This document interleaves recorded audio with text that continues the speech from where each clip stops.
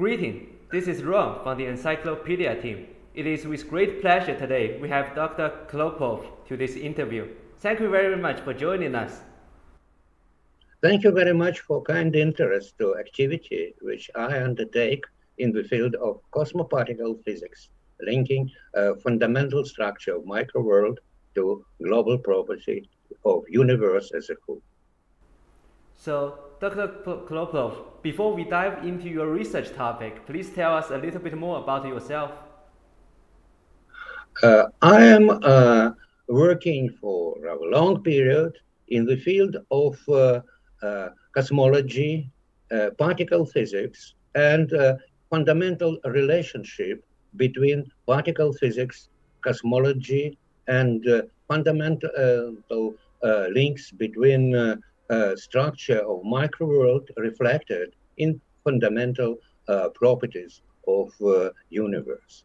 Uh, I'd like to uh, show you uh, some examples of my activity related with in series of books which are dedicated to this um, topic, as well as I'd like to say something about my my history it is, uh, I worked with Zeldovich and uh, Sakharov in uh, development of such activities. We created Center for Cosmoparticle Physics to join physicists, astronomers, cosmologists, and particle physicists of so Soviet Union. but it turned out that actually most of them are now spread all over the world. And uh, uh, instead of having a real form of activity, we should come to some online uh, activity, which is supported by uh, Virtual Institute of Astroparticle Physics, which I created. It, work, uh, it operates on its website, and here you may see Google Analytics about the visits from all the world to our site. So let me return back to normal format of interview. Thank you very much. So our next question is, could you please provide a little bit more background on cosmoparticle physics? So actually, uh, uh, the idea that there is fundamental relationship between knowledge of micro and macro world, uh, it is tradition of fundamental physics to link microscopical and macroscopical description.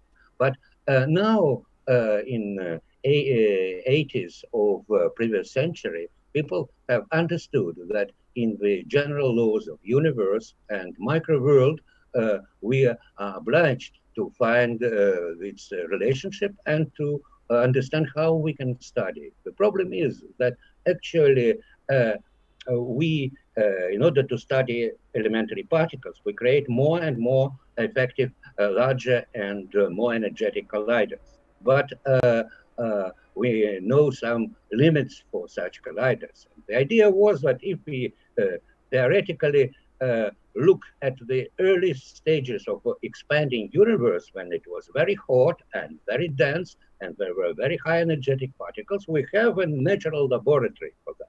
The problem is that modern cosmology found that the basic principles of work of uh, universe uh, involve that uh, hypothetical theoretical ideas which particle physicists want to study uh, with the use of this collider. So the problem is how we can simultaneously find proper way to prove both basic laws of nature together with uh, uh, natural evolution of the universe.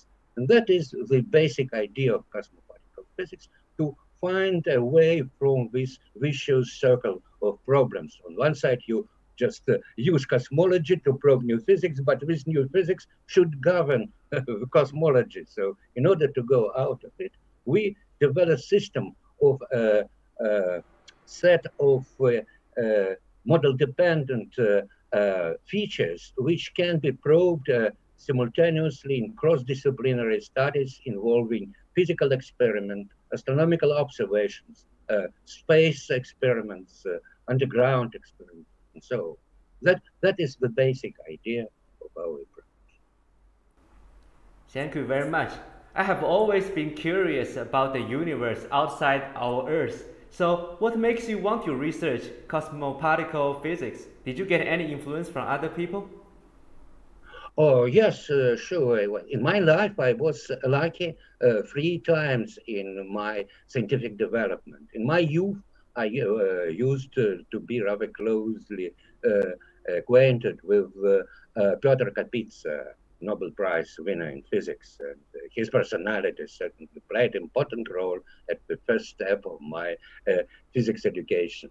Then I was very lucky to work with Yakov Zeldovich, and we started with him creation of a body which can direct this sort of cross-disciplinary research in Soviet Union. Unfortunately, he passed by and then uh, I continued to work with Andrei Sakharov, whose personality, I think, doesn't uh, uh, just need any description, but it is important that here it is another aspect of his personality. It is his uh, uh, uh, Uh, great uh, uh, leg legacy in just putting together new physics and its cosmological laws. And actually, after he passed by, we had to continue a program which we started to elaborate with him. And uh, uh, this uh, program just resulted in rather important mm, presentations at six international conferences which we held in 1990s and uh, to, to, to 2001, 2004. Um, so now we uh, move to this uh, virtual institute to uh, just make more broad relationship and correlation with I'm sure the collapse of the Soviet Union didn't make you the research any easier, but what is the innovative part about your research? Is there any limitation to your research? Uh, yes, actually, uh, it is clear that now this uh, linking cosmology and particle physics is uh, uh, certainly mainstream of fundamental science. So, in that sense, we just should Uh, propose something what is uh, uh, specific and trivial. In that case, my concern is to to well, actually, people now agree completely that there should be inflation, which explains the initial stage of uh, cosmological evolution. People think that the create, uh, proposed by uh, Sakharov mechanism of baryosynthesis explains why we do see matter around us and not a, similar amount of antimatter. Uh, there should be dark matter which and dark energy which governs uh, modern evolution. All that is related to predictions of particle theory or more generally fundamental uh, physics because we can also involve gravity and we can talk about modified gravity. So we have some new effects which uh, can uh, provide explanation for this fundamental basis of modern cosmology. However, different models give us different uh, uh, explanation. And the question is how can we make choice between these different approaches? So my uh, recent ideas uh, which I develop with support of Russian Science Foundations on the basis of Research Institute of Physics of Southern Federal University uh, is just uh, to specify that there is, uh, so now people say about mm, multi-messenger astronomy, saying that in, in, fact we now not only consider astronomical observation in different uh, uh, ranges of uh, electromagnetic spectrum, but we also use neutrino astronomy, cosmic rays, but also now gravitational wave astronomy. So it is multi-messenger astronomy. My idea is to confront multi-messenger astronomy to multi-messenger cosmology, taking into account that each realistic explanation for inflation baryosynthesis dark matter should involve model-dependent predictions which can lead to additional effects which can make proper choice between different approaches. That is my uh, basic element of my specific research. It is great to hear great progress on the outer space as most people are just as curious as I am. So my question is, what are the challenges that you are facing in the current situation? Is there any difficulty you have experienced regarding your research? Uh, well, actually, the uh, basic challenge for us is to understand how we can explain the fact that we live in the world which is full of dark, darkness. It is dark energy which governs modern uh, uh, acceleration of the universe. It is dark matter which dominates in matter content. So uh, the known part of uh, world is no more than 4% of total energy density of universe. So it's great challenge to understand their nature and to use the new unknown forces to make them new, uh, to make them known and to, use them. So actually we have great uh, challenge and certainly uh, the hope is that the methods of cosmoparticle physics can provide us with possibility uh, not only to probe some particular uh, predictions, but also to find out the way in which we can uh, uh, just explore this these spot, so wide spots of our knowledge. Well, for, for me personally now, it is a great interest to combine the fact that people in dark matter searches find some uh, uh, contradiction between different groups. Some of them claim that they do observe effect of dark matter. Others say no. So my uh, idea is to explain how it is and uh, to relate it with collider searches of new uh, particles. So actually it is just this cross-disciplinary analysis which can give us very definite answers.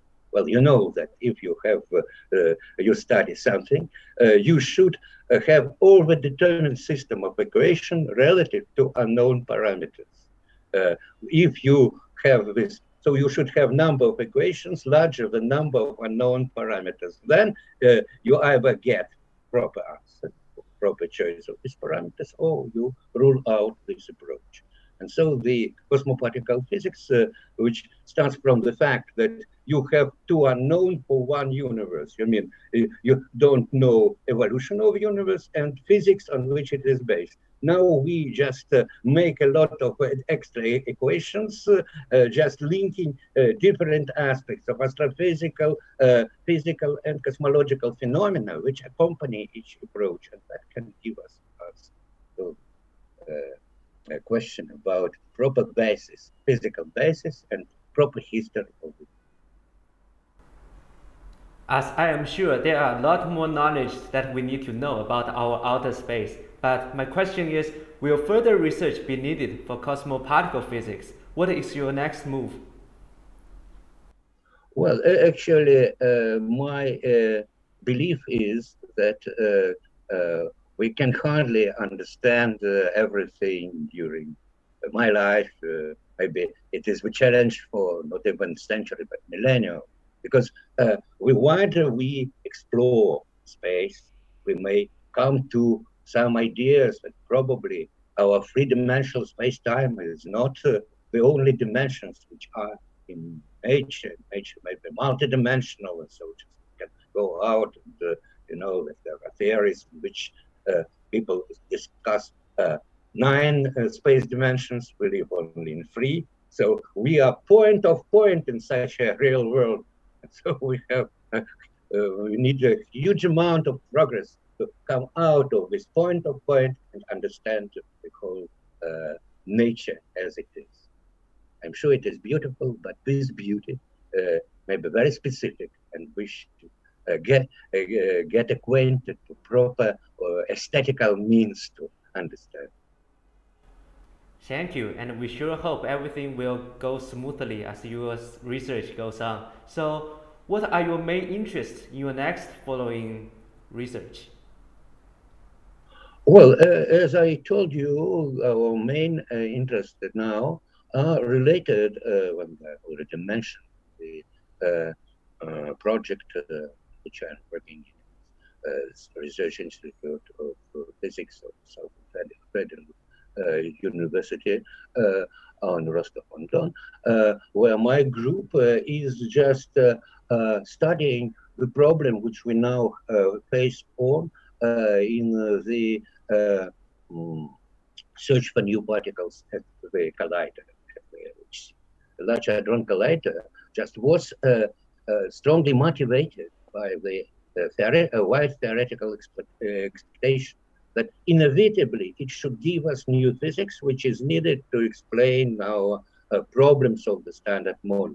One of the important prediction was that we should find uh, a huge amount of new so-called supersymmetric particles. It is heavy partners of ordinary uh, particles, but we have different spins. So for electron, are scalar particles, selectron, or for photon, there should be some uh, um, particle with uh, one half spin, which is called photino. So actually, this all this set of predicted particles was expected to be found there, and they are not.